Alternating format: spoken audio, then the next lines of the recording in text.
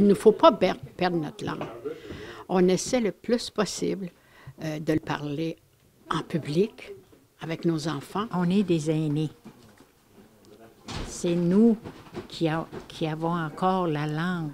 On ne le perdra pas. Moi, je dis toujours j'étais, je suis, je serai.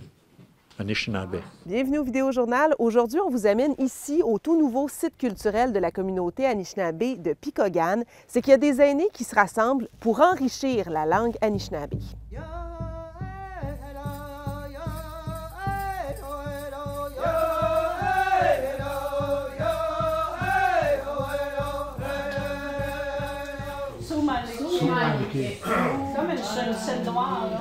Les Anishinaabe, euh, quand ils veulent nommer des choses, c'est imagé.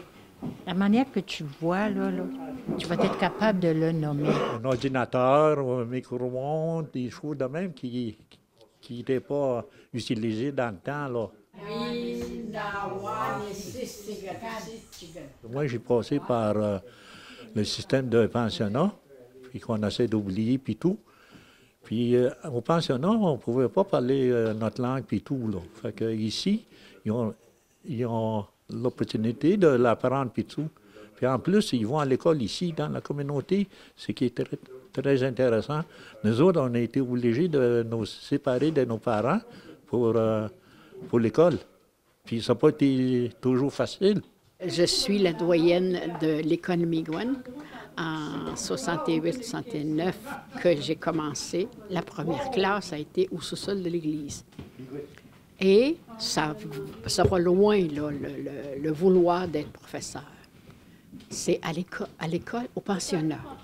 J'ai vu des affaires presque épouvantables, ce que nous avons vécu là-bas. Il faut avoir vécu ça pour euh, euh, savoir c'est quoi notre peine, c'est quoi notre douleur, c'est quoi la, la cicatrice qui est dans notre cœur.